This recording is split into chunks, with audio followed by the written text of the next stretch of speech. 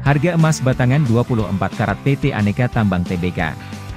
Atau Antam hari ini, Kamis, 12 Januari 2023, terpantau masih stagnan, dua hari berturut-turut. Harga emas Antam bertahan di atas 1 juta rupiah per gram.